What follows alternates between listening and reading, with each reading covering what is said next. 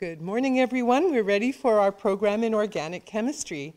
To me, that would be very, very challenging because it's such a big field. How do you cover it in one hour? Let's see. Anyway, we have today Dr. Susan Meschwitz. She earned a PhD in organic chemistry from Brown University and did postdoctoral work at Harvard Medical School in biochemistry. She has worked as a research scientist in industry in the field of drug discovery for several years. Dr. Meschwitz has taught organic chemistry for the past 15 years, first at the University of Rhode Island, then Salve Regina University in Newport, Rhode Island, where she has been for the past seven years. Her research focuses on the design and synthesis of novel antibiotics. Let's welcome Susan Meschwitz.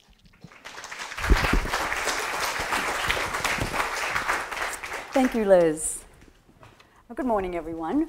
It's a pleasure to be here. Um, it's always a pleasure. I, I, always welcome the opportunity to share my passion for organic chemistry with anybody who's willing to listen. So I really grab that opportunity. And um, it's a pleasure also because as I stand up here getting ready to kind of lecture on organic chemistry, it's uh, very refreshing to look out and see these faces that I know are eager to learn something about organic chemistry. I'm used to seeing the faces of my organic chem students who are, well, fear, apprehension, um, really only usually worried about what that horrible course is going to do to their GPA, or is it going to ruin their chances of getting into medical school, right? So not having to worry about GPAs and medical school applications, we can kind of just sit back and relax and um, kind of learn about the wonderful world of organic chemistry. No pop quiz. well, I heard, I heard there's some trivia, and you were supposed to be paying attention. So, but um, so anyway, so overview of my presentation, just to let me get you through what we're going to look at here. Um, I'm going to just start out talking about organic chemistry and the importance of organic chemistry. You'll be surprised as to how ubiquitous it really is. You know, it's all around us. Um, definitions. Organic chemistry is like a, it's another language. So can't get away from getting into some of these definitions and learning some of the language of organic chemistry. Um, the carbon atom, we'll see that organic chemistry revolves around the element carbon. So we'll talk about some of the um, special uniqueness, the unique characteristics of carbon and, and why that's so. Um, organic chemistry being such a broad field, um, is organized. It's a, it's a really nice organized um, study. And so functional groups are how organized, uh, how organic chemistry is organized. So we'll talk about and go through all the different functional groups.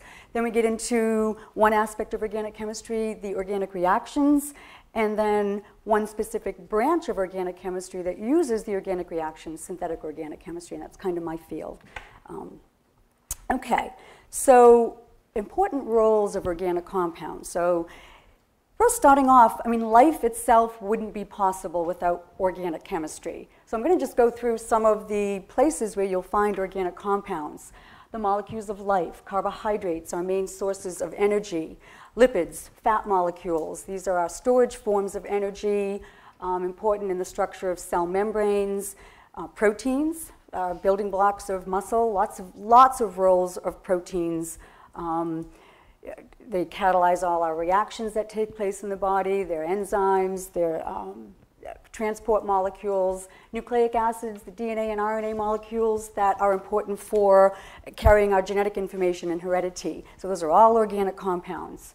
Um, then you get into uh, molecules that provide us with heat and energy, all of the petroleum products, the heat and energy that we need to heat our homes and run our cars and all that other good stuff. Um, these are all organic compounds also. Um, naturally occurring in synthetic medicines, all the medicines that you take um, are also organic compounds. Many of the advances in medicine have been advances in organic chemistry.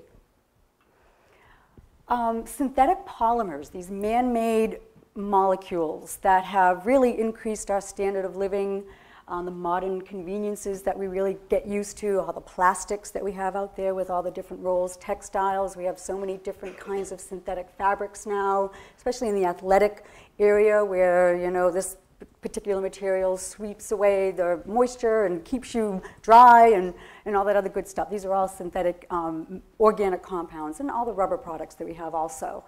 Uh, many of the active ingredients in personal hygiene products, shampoos, detergents, cosmetics are also organic compounds. And then finally, there's lots of materials that are organic compounds that are used in artificial body parts, dentures, heart valves, hip knee replace, uh, prostheses, things like that. So organic chemistry really is all around us. It's, it's um, plays a, a big, big role in our lives. Okay, so organic chemistry, what is organic chemistry? Organic chemistry is the study of carbon-containing compounds, study of the structure and the properties of those compounds. Whereas inorganic chemistry, on the other hand, is the study of all the other elements. So organic chemistry really just focuses around that carbon atom, that carbon element carbon. There are about 10 million different known organic compounds as opposed to about 250,000 different um, inorganic compounds. So um, actually, I want to skip over to here. With the periodic table, I mean, you can't talk about chemistry without taking a look at that periodic table. But just want to point out, you know, we talk about organic chemistry being centered around the carbon atom. That's one element on that periodic table where there's about 110 now known elements. So there's got to be something really special about carbon that all the element, other elements don't have that um, we have this whole field of organic chemistry centered around carbon. So I'm going to be looking at what is it about the carbon atom that makes it so special. So two major reasons for the astonishing number of organic compounds. First thing has to do with the bonding characteristics of carbon, how it forms bonds um, which is going to be very different, we'll see from a lot of the other elements. And then something called isomerism of carbon-containing compounds. And this leads to a variety of different structures that carbon can make. So the bonding characteristics of carbon. Carbon has, and I'm not going to, I'm going to try to not get too detailed here. Um, you know, my goal really is to give you a working knowledge of organic chemistry and without hopefully overwhelming you. Um, but four valence electrons, these are the electrons that are involved in forming bonds when atoms come together to form molecules. Carbon has four of those valence electrons, and so it forms four covalent bonds. So these are a, a, a type of bond where the electrons are shared as opposed to in inorganic chemistry, most of the bonds are ionic bonds. But the four is really that, uh, you know, it's a magic number. There's not very many elements on the periodic table that consistently in all their molecules form four bonds. Um, carbon uh, also forms bonds to, first of all, other carbon atoms. And then the only other elements really on that periodic table, remember the 110 elements, um, that, that you find in organic molecules are hydrogen, oxygen, nitrogen, sulfur, phosphorus, and then all the elements that are in group seven, the halogens, fluorine, chlorine, bromine, and iodine.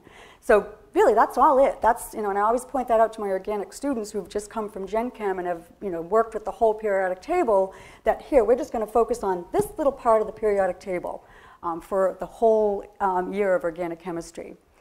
The other thing that carbon atoms can do, it can form bonds. When, they, when carbon atoms bond to each other, they can bond to each other and form chains, so long chains of carbon atoms, branches, so long chains with branches hanging off of the, that chain. Carbon atoms can form rings when it, when it um, bonds to each other. And then we have what are called multiple bonds. So we'll look at single, double, and triple bonds. So, I mean, you can start to see the reasons that there's so many different organic compounds as opposed to these inorganic compounds. Um, and the other thing about organic chemistry and that language is you're going to be seeing lots of structures. So you can't really get away from that. Um, you know, when you're, when you're talking about organic chemistry, it's really the study of all these different molecules and the structures of these compounds.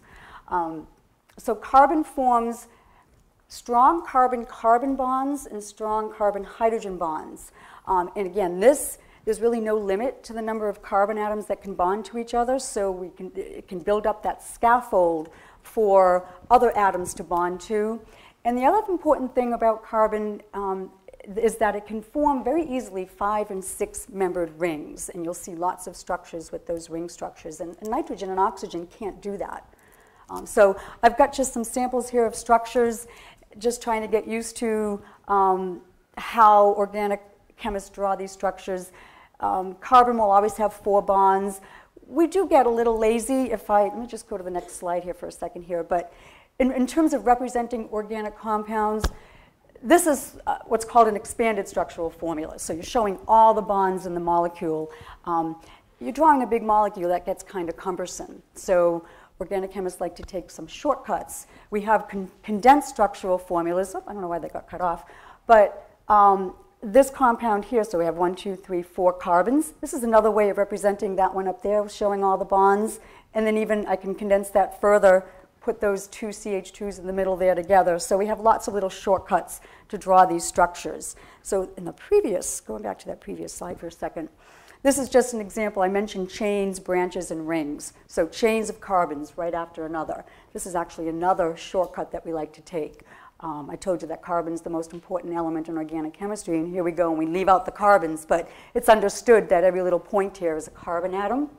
And then it's also known that every carbon has four bonds, so guess what? That carbon, that little line right there means that there's a carbon with three hydrogens attached. That's the CH3. So we, can, we have nice little shortcuts. Here's a branched, so carbon chain with some branches hanging off, and then that six-membered ring structure. Carbon can also form rings too. Um, so that's how we depict those types of molecules.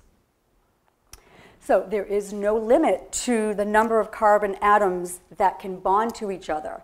And so you'll see with organic molecules, it ranges from the very simple to, if you look on the right, left-hand side, one carbon, that's the simplest organic molecule, that's methane you find in natural um, gas. So it's the simplest. And then ranging up to hundreds or thousands of carbon atoms in a molecule, like the structure of DNA, very intricate structure. So um, there's lots of variations um, in, in the structures that we have that um, carbon can form. I mentioned multiple bonds. So again, this adds to the variety of the types of compounds um, out there. Single bonds, just very simple. Carbon has all single bonds, but a carbon-carbon double bond that you see on the right-hand side. Carbon can also form triple bonds to each other. And then that's a very special ring structure over there on the bottom right, the aromatic ring structure that you find in a lot of compounds in nature. Very stable system. You've got alternating single and double bonds around that six-membered ring. Okay, so that was the bonding characteristics of carbon. Now I'm going to get into what isomerism is. Here's where you get some definitions coming at you. Um, carbon atoms can form more than one arrangement. So when these atoms come together to form a particular molecule, there's sometimes different ways that you can arrange those atoms and get a different structure. So I've got a simple example up here. Um, if you look at this is what's called the molecular formula, so it tells you how many carbons, how many hydrogens, how many oxygens in your molecule. So I'm starting with something simple, C2H6O, but I can arrange those atoms in two different ways, and we get what are called structural isomers. So the molecule on the left, the two carbons are bonded to each other, then comes the oxygen. This is the molecule for ethyl alcohol, which is found, that's the alcohol found in alcoholic beverages. Um, liquid at room temperature. So you'll see with the arrangement of the atoms, the particular arrangement of the atoms is going to give the molecule its specific properties. On the right-hand side, um, carbon, then the oxygen, then the carbon. So bonding arrangement is a little bit different there. This is dimethyl ether, gas at room temperature. So same molecular formula, very different properties. This is a propellant found in aerosols. So the arrangement of the atoms, very important um, for the functioning of the molecule. So I always like to tell my students, you've got to remember structure determines function, and that's, that's really key to looking at organic chemistry. I'm going to just show you a couple of examples of other types of isomers. We looked at structural isomers. There are also isomers called stereoisomers. And this, these isomers have a much more subtle difference to them. You know, on the previous slide, you could see the arrangement of atoms was quite different. But with uh, stereoisomers, this is more of a spatial or three, three-dimensional arrangement that's different from each other. And nature is very selective and can tell the difference, uh, very subtle differences between molecules. So this is an example. Um, you've got a carbon-carbon double bond in both of these molecules. and the four groups that are attached to each of those carbons are the same, two hydrogens and two of those COOH groups, which I'll tell you about in a moment. But the difference is the spatial arrangement relative to each other. In the first one, you've got the hydrogens on opposite sides of the double bond. This is called the trans isomer. And in the other one, you've got the hydrogens on the same side. It's called the cis isomer. Very different in terms of structure determines function. Um, the one on the left-hand side is actually an essential metabolite. We find that in our cells in the body. One on the right, toxic to cells. That just that little structural difference. Again, nature can tell um, and tell the difference between those two. And then one other type of um, isomer, uh, these are also stereoisomers. These are called enantiomers. If you look at the two structures now, I mean, the only difference really is one sort of being right-handed, the other one being left-handed. These are mirror images of each other. So now the difference in structure is even, even more subtle than the other two that I've showed you. Um, and what's interesting, these are both carvone, because now all the atoms are really connected in the same way. Um, we just have, again, like your hands are the perfect examples of these chiral molecules. They're mirror images of each other. But you know how you can't put a right-handed glove on your left hand or a left-handed glove on your right hand? I mean, they're different. So they have sort of a uh, left-handed and a right-handed motion to them. But these two compounds are interesting. The, the R carvone smells like spearmint, and the S carvone smells like oil of caraway, what you find in like rye bread, those seeds. Um, so again, nature very selective, and that really points out that our sense of smell is also chiral. So structure very much so determines function in organic chemistry. Okay, so I'm going to move into um, the functional groups. As I told you, how organic chemistry is um, very, very organized, and there are 12 different functional groups. I'm going to bring you through each of them kind of quickly just to get you familiar with the arrangements of atoms. But um, you'll see that there are just these characteristic bonding patterns that you find. And so, you know, with 10 million different organic compounds, we can start to categorize those compounds into one or two or three different functional groups. The functional groups are the reactive part of the molecule. So when I get into talking about organic reactions, all the reactions take place at the functional groups. And then also the functional group is responsible for giving that compound its specific chemical and physical properties. So I've got a few just up here for you. But let me just go through um, really all I want you to get out of these next two slides are the names of the functional groups. It's kind of too small in here, but since I'm going to be taking you through each one and showing you in detail the specific arrangement of atoms, let's just look at the names. So we've got alkanes, alkenes, alkynes, aromatics, alcohols, ethers, amines, aldehydes, ketones, carboxylic acids, esters, and amides. 12 different um, families or classes of compounds. But the other thing to keep in mind are is the fact that most of the compounds that exist in nature don't contain just one functional group. So you have these polyfunctional compounds. Um, I mean, look at these very intricate, detailed structures here, but um, complex structures. But even so, functional groups still are going to determine the, the, the, physical and chemical properties of the compounds. And a lot of these polyfunctional compounds play very essential roles in um, life processes.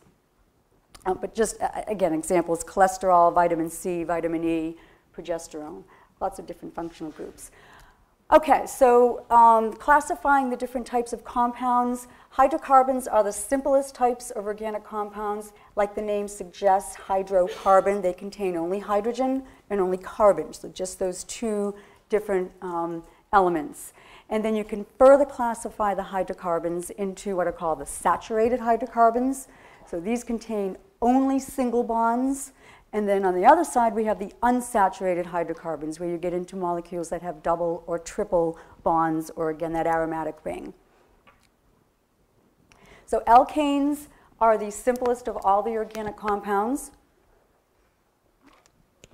We're going to see that they play. What I'll do when I bring you through each of these functional groups is show you the structure and then give you some examples of specific uh, specific examples of that functional group and how they're used. That's always the kind of the, the interesting part of organic chemistry are the um, practical uses of these compounds. So the alkanes really play quite a crucial role in the modern industrial society because, again, they are our primary source of fuel and energy, and they are raw materials for the manufacture of lots of different things plastics and drugs and synthetic fibers. So, even though being the simplest of compounds, um, they're quite useful also. Okay, I need to take a little aside here also. Naming organic compounds. Um, I could teach a whole class, a whole semester on naming, but obviously I don't have that time. I'm going to just give you again the basics of, of how you name an organic compound. Um, with there being 10 million different kinds of compounds out there, there needed to be some systematic way of naming so that you didn't come up with the same name for two compounds. So we have this um, system, this convention that was adopted by International Union of Pure and Applied Chemistry, so IUPAC for short. So it's the IUPAC Convention of Naming. I've put a website up there if you need any more information on that. But just to go through really simply, um, the way the naming system works is the number of carbons that are in the longest chain. There, there are these base names that, um, if you see the base name, like for instance, hept, that tells me that there's seven carbons in the longest chain. So there's a base for one carbon, two carbon, three carbons, meth, eth, prop. My students always have to memorize those for me. Um, but that tells you the number of carbons in the chain.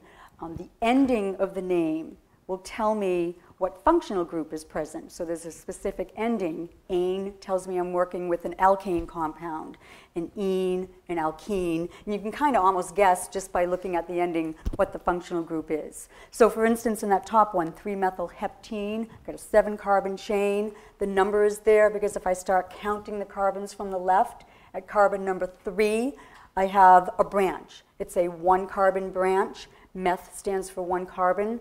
So 3-methylheptane.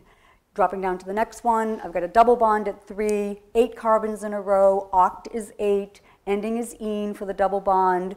I need a 3 to tell me where, so this would be position 3, 3 to tell me where that 2 carbon chain is, that's an ethyl group, and 3 to tell me where the double bond is in the chain, so 3 ethyl 3 octene. Um, the next one is an alcohol, so the ending OL, five carbons in the chain. The OH group is at position number two. So 2-pentanol, change the ending there. So you kind of get the idea. Um, ending for an aldehyde, AL, ending for what we call a ketone is ONE. So that's kind of how the system works.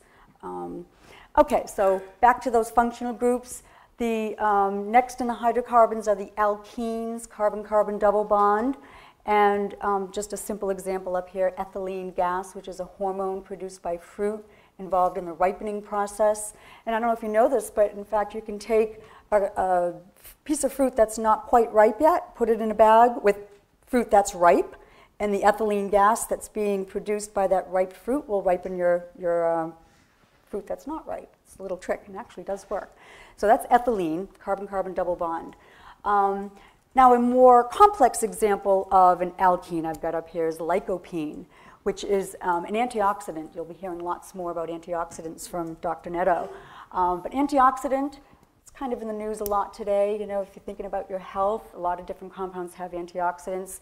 Uh, a lot of them are responsible for the colors that you see. So lycopene in watermelon and in tomatoes, responsible for the colors of those fruits. Um, but antioxidants help prevent cancer and heart disease. You've got 13 double bonds in this compound. Alkynes, carbon-carbon triple bond. Um, not very common in nature. Um, but anyway, the, the simplest I've got up there is acetylene. That's a compound that's used as fuel for torches and in making plastics. But I did find one example of a compound that has a, a, actually two triple bonds. I've got them pointed out over there. This is calicheamicin, which is uh, one of the most potent anti-tumor agents known. In fact, as when I did my postdoc, I worked on a compound called neocarzinostatin, which also had triple bonds in it, kind of related to this compound. It's an enediyne type of antibiotic, actually used in Japan um, as a chemotherapeutic agent, not here in this country though. Alcohols, have um, in their functional group the hydroxyl group. So that OH group is called a hydroxyl group. So all the alcohols have that. Ethanol, one of the simplest ones found in alcoholic beverages. Menthol is another example that you find in cough drops. So I've got the structure down there. Um, and then other important alcohols, a little more complex. Glucose, our main source of energy, um, actually has five hydroxyl groups on that structure. And then another antioxidant, resveratrol, that you find in um, the skin of red grapes. You've got three hydroxyl groups on that compound, another double bond, two aromatic rings. Um, resveratrol is the reason that red wine is actually so good for you. So I always keep that in mind when I have my glass of wine. Aldehydes and ketones, I put these two together.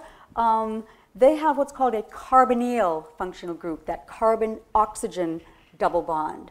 And the difference between aldehydes and ketones is just this hydrogen. If you've got a hydrogen directly attached there, you've got an aldehyde. Um, no hydrogen, you've got a ketone. So they're very um, similar to each other. Very common also in biological compounds. And also, many of them have very fragrant odors um, that are used in flavorings. So, vanilla and butter flavor, I've got up there, two different um, aldehydes and ketones. Carboxylic acids is the next functional group. This contains what's called a carboxyl group. You've got the carbon oxygen double bond, this time with a hydroxyl group attached to that carbonyl. Um, these compounds tend to have a very tart, sour taste. Not that we're tasting compounds anymore, but way back before we had all these, I tell my students, please don't taste them. You know, it'll say in the textbook, has a sour taste or feels slippery, bases feel slippery. Please don't put them on your skin and please don't taste them. Just take our word for it, you know. But they used to do that back in the olden days when we didn't have all these techniques to um, figure out structures. It's like, hmm, I think this one's an acid. Let me taste it. But anyway, so the carboxylic acids are um, do have that sharpness to them. So acetic acid that you find in vinegar is a carboxylic acid. Citric acid that you find in citrus fruits, carboxylic acid. Um, this is a group of carboxylic acids that's used in the cosmetics industry. You can't, you can't pick up cream, face cream or whatever nowadays without finding that they contain these alpha hydroxy acids that are basically supposed to be reducing wrinkles. I don't know. I, I I, I use them. I mean, I don't know if they work, but I'm going to not you know, question that, and I'm going to just keep using them. But they work as an exfoliator, um, so they're kind of just sloughing off the, the dead skin cells um, and rejuvenating your skin a little bit. But these are glycolic acid, lactic acid um, are the alpha hydroxy acids that both contain a carboxylic acid functional group, and then also the OH, the hydroxyl from that alcohol. Esters, some of my favorite compounds. Um, carbon oxygen double bond and then you have an O, I don't think I've used that R group yet, but the R group is just a general abbreviation for any carbon containing group. So you've got an O carbon attached to that carbonyl. Um, esters are key structural features in fats and oils. I'll show you in a second. But a, a lot of the esters, especially the smaller, low molecular weight ones, have very fruity and flowery fragrances and odors. Um, so they're found in fruits and you oftentimes used as flavoring agents um, in foods and in scents and perfumes. So I've shown you a few of them here. Um, so as I mentioned, esters are important in the structure of fats and oils. This is the structure of uh, triglyceride, which is the, the main type of structure that you find in all your fats. But I've pointed out here the ester linkage, which there's actually three of them. So that ester functional group, very important in nature.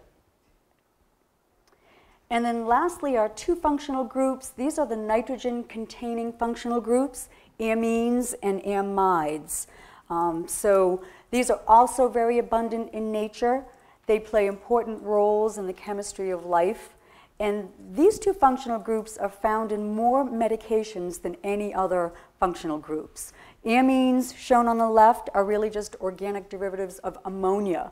Ammonia is NH3, so if the hydrogens are replaced by some carbon-containing alkyl group, um, you get an amine. And then on the right-hand side, there's that carbonyl group again, carbon-oxygen double bond. If there's a nitrogen directly attached to that, you have an amide. And um, as I mentioned, they're very important in the chemistry of life because their structures, the, these functional groups are found in the structures of most of our biomolecules.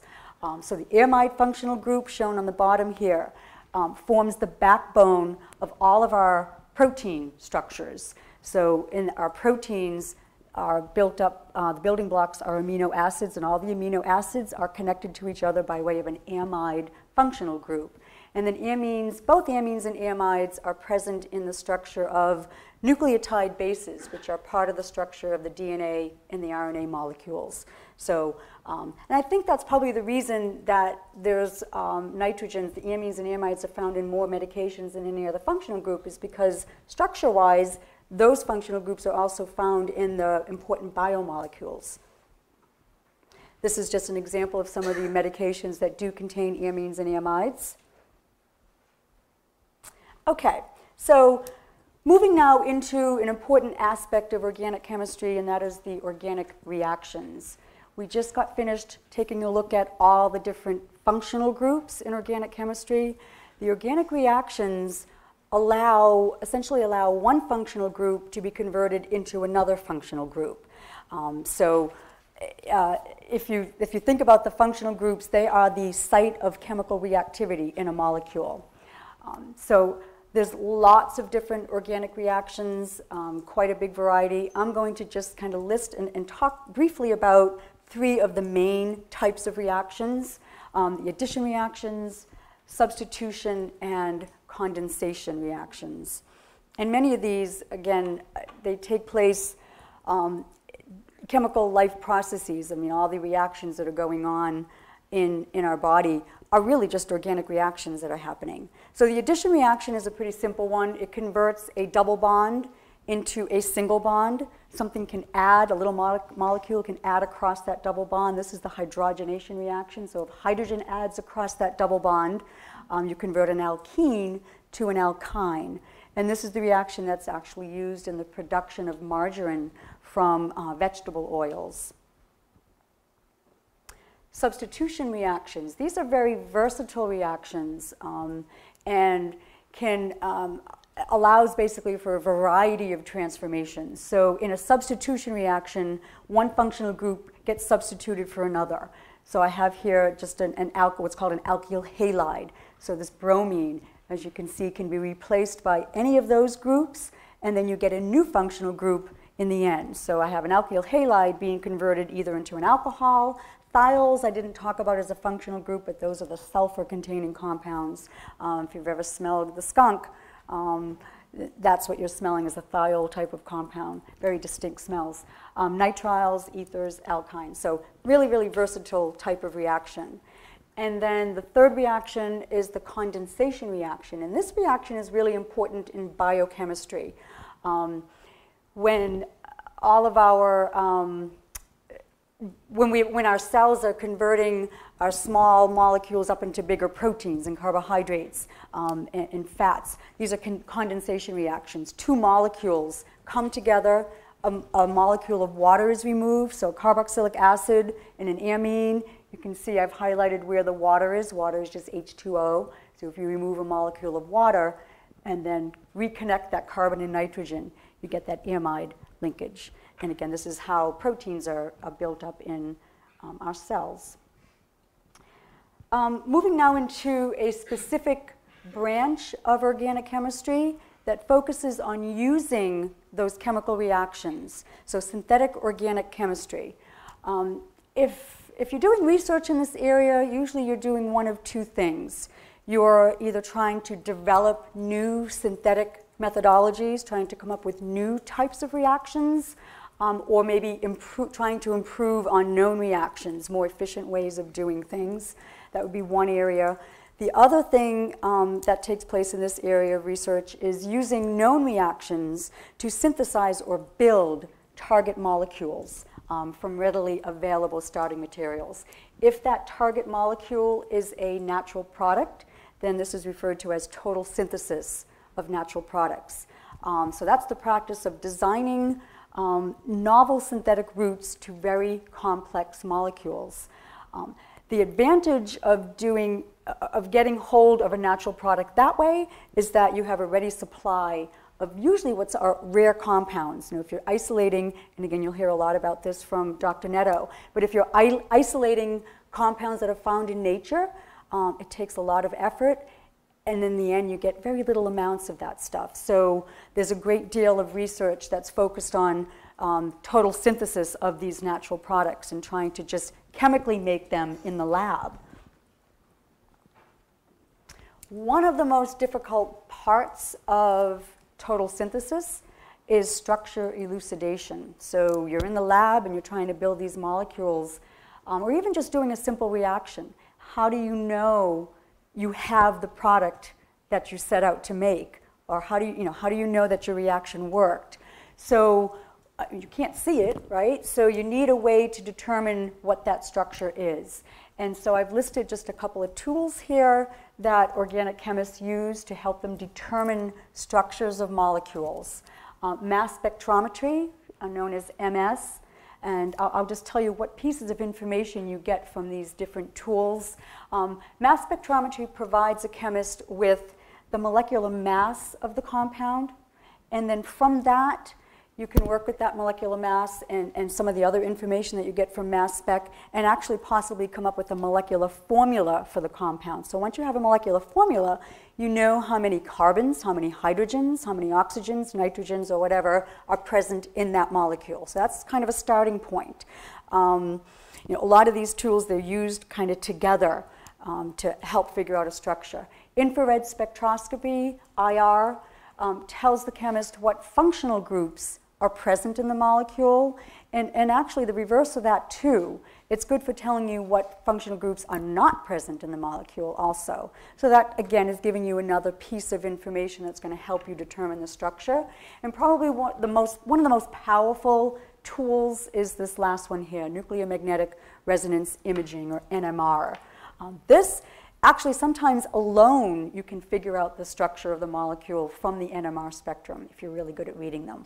Um, it takes a lot of practice, but um, NMR, there's two different types uh, that chemists use to help figure out structure, proton NMR and carbon-13 NMR. And what these, what these um, spectra give you are information about the carbon hydrogen framework. So they're going to tell you about the different types of carbons in the molecule, tell you about the different types of hydrogens in the chemical environment. So you can start to piece together, almost like putting together a jigsaw puzzle when you look at one of these. Um, do I have it next? No. I'll show you some spectra in a minute. But it's almost like trying to just do a jigsaw puzzle because all of these things will give you little pieces of information about your structure and then you can start to put them back together and, and, come up with a possible structure. I do have listed here a couple of spectral databases that organic chemists um, use for organic compounds. The first one is um, useful only in the sense that not really for sort of an unknown compound, but um, it, it, lists here, you can find the IR, NMR, and mass spec data for commercially available chemical reagents um, from C6 to C16. So it's very specific, but it's very useful when we're doing reactions in the lab and, and you get your spectra of your product, but you know, maybe it would be nice to see the spectra for your starting material. So if you're starting with commercially available reagents, you can get that information and then at least compare um, your product and your starting materials. You have a starting point to begin with. Um, the next one, NMR Shift database. Actually, what's interesting about this website is you can upload a structure and not for every structure, but it, it, works pretty well. You can upload a structure and it might be able to predict what the NMR spectrum would look like for you. So that's awful, you know, helpful information also. ChemSpider, one of my favorites. Um, lots of spectra that you can look up there and much, much more information too. Lots of good information from ChemSpider. Okay, I am going to finish up with two examples of how synthetic organic chemistry has been used in the drug development field. And I'm going to start with a simple molecule, aspirin. And in fact, aspirin, um, the synthesis of aspirin really started the pharmaceutical industry. Um, so it's a very simple structure, as you can see on the bottom right-hand side not really that complex. You've got this carboxylic acid functional group, you have an ester functional group, and then that aromatic ring. Um, it turns out that uh, aspirin, or acetyl salicylic acid, is really a synthetic derivative of this compound here, salicylic acid. This is a natural product that's found in the bark of willow trees. And before the 1800s, people used to actually chew on willow bark um, they knew that there was something in there that helped relieve their pain. They didn't know what it was, but they knew it worked. But the problem with this compound here, salicylic acid, this couldn't be marketed as a, as a medication because it was very irritating to the lining of the stomach. Um, so there was a chemist that worked in a German chemical company, the Bayer chem Chemical Company, which is the same company that um, produces and distributes Bayer aspirin. Um, he had the idea, and in fact, Bayer Chemical Company back then in the 1800s was a dye chemical company. They were in the production of dyes, and that's really kind of how the chemical industry started. Um, but he had the idea that maybe if he tweaked the structure a little bit of salicylic acid, do a little bit of organic chemistry on it, maybe he could come up with something that, number one, retained the um, pain relieving and anti inflammatory properties, but on the other hand, was going to be a little more tolerated. He felt um, that it was probably this hydroxyl group that was causing um, the problems and, and, the irritation to the lining of the stomach. So he had the idea of why don't I just take this hydroxyl group and substitute it with an ester group? And that's what he did. And lo and behold, acetylsalicylic acid retains the, the pain relieving properties, still is an anti-inflammatory, but much, um, much more well tolerated. Um, so some of that irritation was reduced. And as I said, this really was the beginning of the pharmaceutical industry. Um, he worked for Bayer. Bayer then started to market little packets of this powder. Um, and you know, we still can buy Bayer aspirin today. Um, oh, this is uh, what IR data and NMR data look like. I thought I would just give you some simple examples. Um, there's the structure again of acetyl salicylic acid or aspirin. But um, the IR spectrum again will tell you about a functional group presence. So these little bands here, this, this little bit, well, big band, this broad band here actually is telling me that there's a carboxylic acid functional group in that molecule. That, you know, one of those peaks and one of these peaks in here I can put those together and tell me that.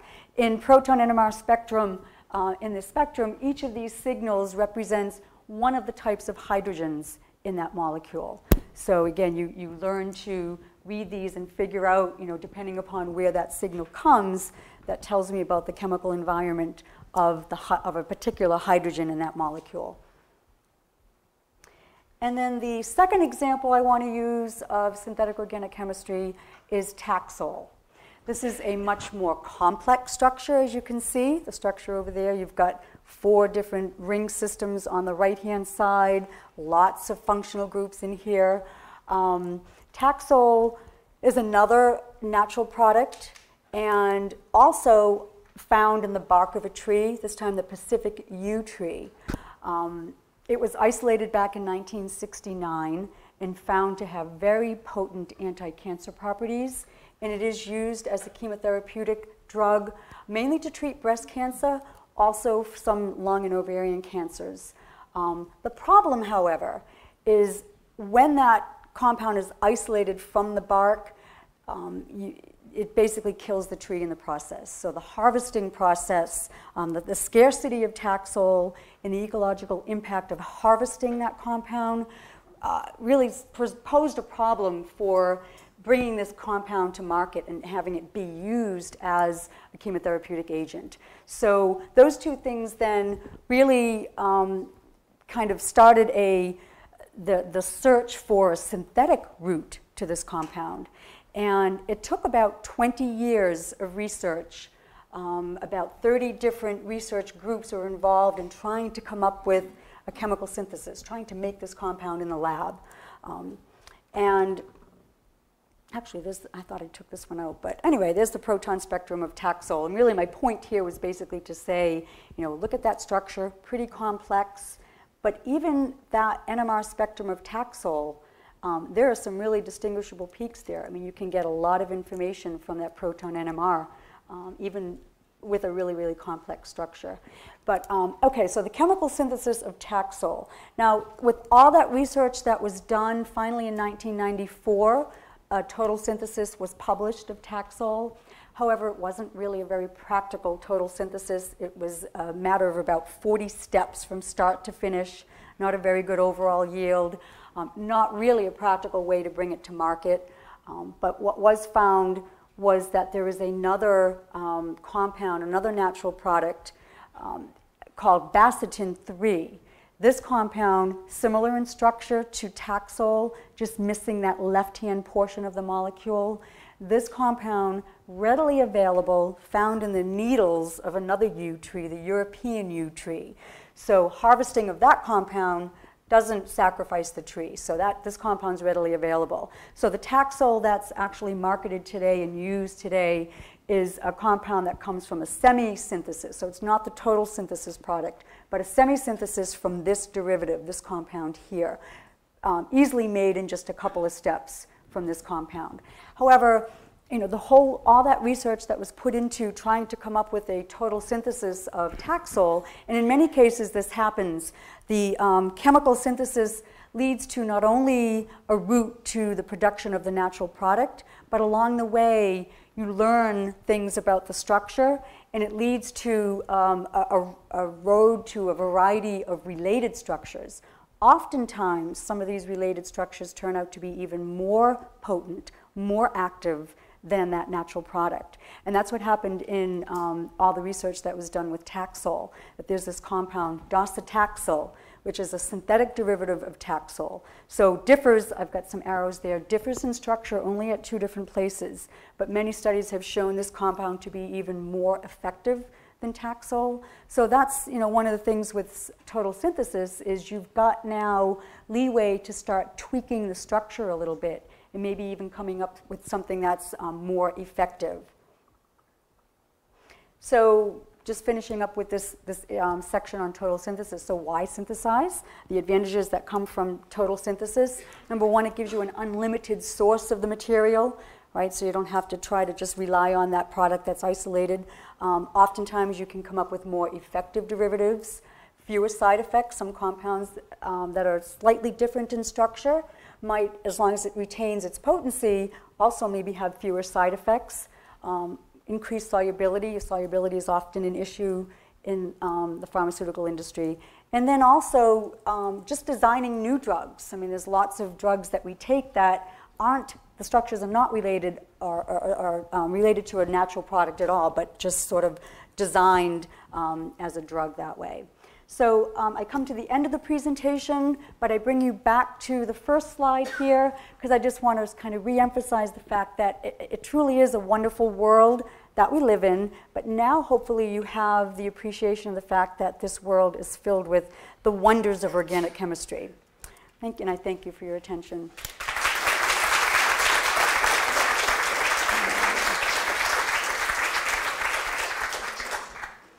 Any questions? I guess we have time for a few questions if you have any. We can go to um, 10:35. Okay.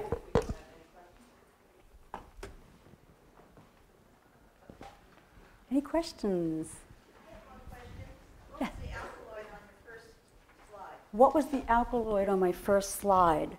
I think it was, um, I have to look back now, it might have been caffeine. Let me look. Ah. Uh, Gee, I wish I had that answer for you. Like, I don't even know what I put up there. Let me see. You just show us, we can look it up. Yep, I'm gonna, I'm gonna show you. Um, this is caffeine. Is this the one you're talking about? Yes. Caffeine. Progesterone, methane, and here's my Taxol structure. And this right here is resveratrol.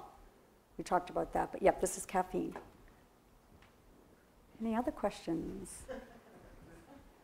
Hope I didn't, like I said, overwhelm you. A question?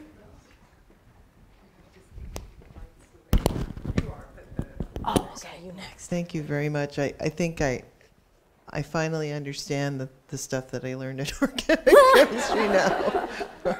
it was, you know, it was not presented as logically as this. Oh, well, um, thank you. so I, I, I don't know that I have a question so much as Just- You wanted to I'm say that? just Well, thank you. I appreciate appreciative. that. I appreciate that. Yes. Oh, all right. Thank you. Question right there. Question? Um, you showed uh, two um, compounds that had this, they were di- different organizations of the same components. Yes. And so they had the same um, notation. Yes. How in, say, the literature, do you distinguish between those or make sure that you don't get things mixed up and uh, in the Um, wrong way? So if you were just using the molecular formula, right, so you- the, the numbers of carbons, the numbers of hydrogens, the numbers of oxygens, um, it would be easy to get those mixed up. So I think if you went to the literature with just a molecular formula, you would probably find that, okay, here are all the possibilities of the compounds that have this molecular formula. And of course, the more complex the molecular formula gets, more carbons, more hydrogens, the longer that list gets. So, I mean, that's a good question because when you are doing that structure elucidation and you use mass spec and you get the possible molecular formulas, um, that, you know, that gives you a little bit of information, but you've got lots of possibilities um, there. And so that's why you have to use those other tools, especially the NMR, to kind of help you figure out, okay, well, what structure do I have? Um, but yeah, that's a great question. Hi. Can you think back to your undergraduate days when you were first taking this stuff and tell us what was the biggest struggle back then? We've been talking about women in science and Yeah. where they leave the pipeline and all of that stuff, and also trying to think about how to help today's students. So, what was the struggle for you? You mean like just for organic chemistry or just yeah, chemistry in or general? or in undergrad in general, undergrad Yeah, chemistry. Um, study habits, I think, you know, I, and, and I'm just kind of trying to think of what I tell my students too. Um, you know, one of the first things I tell them with organic chemistry is you are going to struggle through this. And struggling is good because you come out on the other side better for it. I think the problem with students today is they don't have the perseverance. They, everything's instant, instantaneous. You know, all that technology that we have, everything is instant. Um, but with subject matters like this and, and, and math, and they need to be able to sit down for 20 minutes maybe or more and work on a specific problem. And they don't, they seem to just not have that perseverance. Um, so, you know, that I think is one of the biggest struggles. Yeah. Any other questions? Yeah. It wasn't really a question. I just thought I'd help out some of these people that aren't organic chemists, uh, Sure. that know anything about organic chemistry since I teach information retrieval. Um, that formula business, Yes. Of course, it's called Hill notation. It's, it actually resolves a, a huge chemical formula into a simple way for you to find it in an index. It Oh, not really? specific, Yeah. but you can, you know, if you as a person trying to help an organic chemist Right. have the Hill formula and you combine it with something that you know in the name, you can usually Ah. come up with a chemical, but that's how we index Okay, organic that's good to chemicals know, is yeah. by taking, you take all the carbons and count them, you take all the hydrogens and count them, then all the rest of the elements, you arrange them in alphabetical order and count them, and it becomes an indexing tool. Oh, wonderful. That's, that's great. Thank you for that. Yes. Yes, in my past life, I was a science librarian, and I used the Sadtler a lot, the NMR and the IR indexes. Okay, yes. And it was always a challenge to try to figure out exactly what it was. Yes. Um, so let's say in a medical library, we may not have access to those indexes. What, is there anything online that we could go to if someone came in with, With the spectrum. yeah, a spectrum and said, uh, where would you go? Well, I had given a couple of those um, websites, the NMR database websites. Let's see if I can bring those back up. Are these free or are they? Uh, Yes. Yep. The ones that I have um, listed here are so structure elucidation. Here we go. Um, yes, they are free. So, I mean, each one of them works a little bit differently. The bottom two are probably the most useful. Um, ChemSpider, again, you go in there, you can put in a molecular formula or you can put in some NMR data. Um, you don't always, a, a structure doesn't always pop up. I mean, it does depend on how complex it is. Or sometimes you can type in, which even I think even more useful sometimes is you can type in the name of a structure, and if there's an NMR data, NMR spectrum um, available that's online there, they'll show you that. Okay. Um, so that, that's kind of useful too. All right, thank you. You're welcome. And one of the notations that you might include is this right-handed and left-handed business that you mentioned in the spices. Uh, the R is one term and S, not L for left-handed. That's, that's correct, yeah. So if you're looking at any of these, the other classic one is the thalidomide. Thalidomide, yeah, you're right, thank you. Any other questions? Great, well, all right, thank you.